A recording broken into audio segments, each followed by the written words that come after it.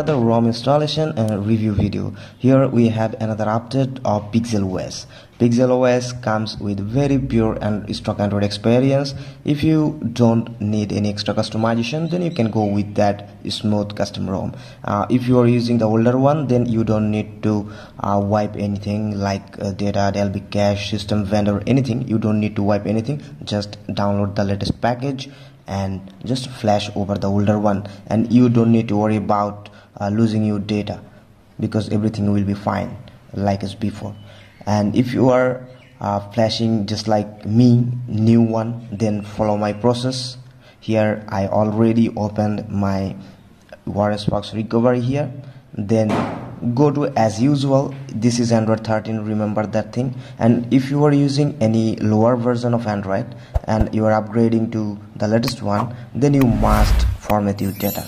And another thing if you are using the latest android update and you are downgrading your android version then you must format your data. And actually always recommend to uh, do a clean flash. So clean flash always very best. So follow that process. Here there will be data cache system vendor and swipe to wipe. When that wiping partition is partitions are done then go to the format section type yes. And remember one thing you can format a later part after flashing the ROM no problem. Before rebooting you can format data. And I always uh, uh, try to do that uh, first time so that's why I already did it now navigate to the folder you have downloaded or stored your files. I have mine on SD card. Here is the ROM files and Android 13 and here is the Pixel OS Android 13 and really thanks to Noviceyash for building this one. Correct me if I am pronouncing the wrong word. So it will take some time to be flashed. So wait until it is done. So flashing process already done. Now click on reboot system and wait until your device boots up. Here is the boot animation and device is booting. That means ROM perfectly flashed and it's working. And here's that animation. As it is pixel experience type ROM that means actually you guys can say this is a, another pixel experience ROM so the logo will be from Google and this is really good no extra things just minimal kind of features just you need. So device finally booted and this is the way you guys can flash any custom ROM and in any devices.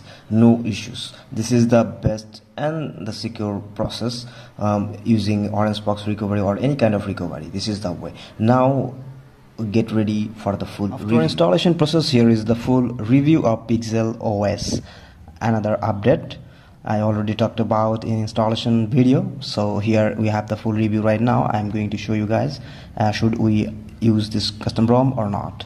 Let's begin.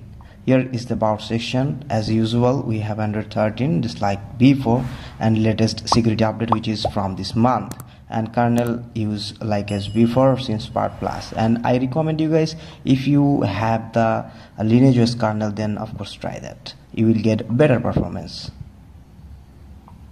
and we have system gesture and we don't have customization extra customization whatever you say because this is pixel os based on pure stock android experience but we have that device settings and which uh, can be changed like earpiece gain and mi sound enhancer ambient display fps overlay and display color calibration. I already talked about this option in so many videos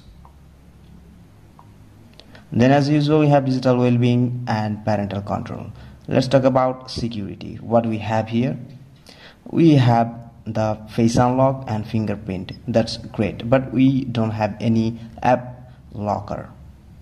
Then we have accessibility wallpaper and style as usual uh, just like latest android 13 we have icon pack app grid font and shapes uh, which is a latest uh, con uh, conclusion actually we can say because uh, there is uh, no changes in latest Android 13 in all custom ROMs are same in that wallpaper and style section then we have the display as usual the regular customization. Everything is present here.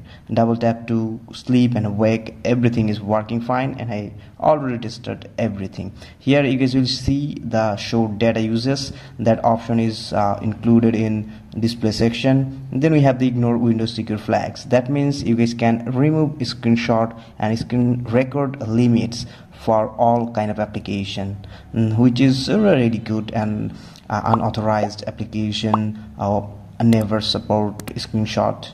But if you enable that feature then you will be able to take it and which is a good thing. Then we have the sound and vibration and storage. Let's talk about this. And here you guys can see the system only uh, taken 1.1 GB and this is really great for low RAM devices I'm using here the 3 GB RAM variant and if you have 2 GB RAM then don't try this one. And if you're really waiting for that one uh, which is by default we need always the speed meter which is here the network traffic monitor whatever you say then you will get it on network and internet section at the bottom. Here we have the network traffic indicator and which is perfectly fine now everything is done. Let's talk about the smoothness. And of course we have the google dialer as it is pixel rom. And you guys will get the call recording but i think it's not working. And i already checked but it didn't work for me. And try. And let me know in the comment section. And just uh, google pixel uh, applications are there. And of course assistant is perfectly working. There is no issues. And if you were looking for the google unlimited photos is working or not? Of course it's working. Let me show you the screenshot. I already taken. Here is that. You guys will get unlimited backup. And now I want to show you CPU throttle to 83% its max performance which is really good. And I tested it in earlier stage. If you keep using the device for some days and then you will try you will get better performance now let's talk about the safety net which is really very important for many people. And this is GApps build and Pixel ROM always comes with GApps build. So this is really good. Don't need to worry about any kind of GApps you don't need to search it for internet. So this is really good and by default you guys will get that play store and which is certified everything is fine. And as it is pixel rom we will get the launcher which is from pixel launcher by default. And this smoothness is really really mind-blowing. And important thing is here we don't have any lag in qs panel and everything is here. You guys can directly access your calculator from the qs panel. And remember one thing this is inform uh, this is a kind of note I want to mention here because all kind of uh, Android 13 custom ROM comes with uh, comes for Redmi 7 and Y3 you guys will get QS panel lag a bit because uh, when you connect your device to the internet like Wi-Fi and mobile data then you will get some notification always and it's connected to internet and it uh, uh, it is always try to trying to uh, load some data in the background. So that's why at uh, that time you can face a bit lag on QS panel for all Android 13 custom ROM.